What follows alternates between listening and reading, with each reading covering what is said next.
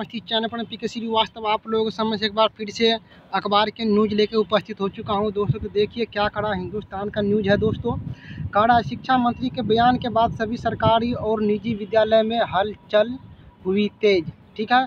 School में पंद्रह मई से पहले होगी गर्मी की छुट्टी, यानी पंद्रह मई से पहले जो है ना दोस्तों, छुट्टी होने वाला स्कूल में।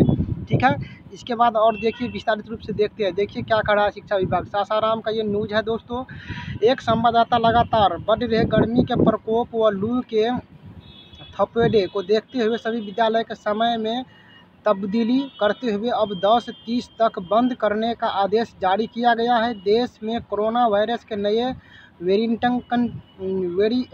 का भी खतरा बढ़ता जा रहा है। ऐसे में सरकारी निजी स्कूलों में पंद्रह मई से पहले जो है बंद किया जा सकता है।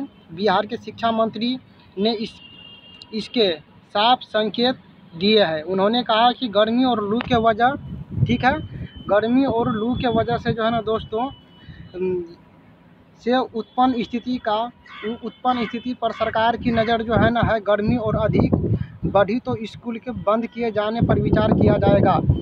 स्कूलों में गर्मी की छुट्टी होने में अभी वक्त है। सूत्रों के मिली जानकारी के अनुसार इस बार गर्मी की छुट्टी शुरुआत 10 से 15 तारीख तक ही जो है ना, जो है आप लोगों को दिया जाएगा। तो ये दोस्तों, शिक्षा मंत्री का जो है ना बयान है दोस्तों अब देखिए थोड़ा इसको हेडलाइंस देख लेते हैं क्या कर है। कहते हैं अधिकारी, जिला शिक्षा पदाधिकारी संजीव कुमार ने कहा कि विद्यालय के लेकर राज्य सरकार द्वारा कोई आदेश नहीं मिला, यानी जो है ना राज्य सरकार का कोई आदेश इस पर अभी तक नहीं मिला है, लेकिन जो है ना मंथन चालू है कि 10 से 15 तारीख अंदर में स्कूल को बंद करना होगा। ठीक है? तो दोस्तों इन सब के बारे में आप लोगों को क्या राय विचार है अपना राय विचार कमेंट सेक्शन में ज़रूर दीजिएगा।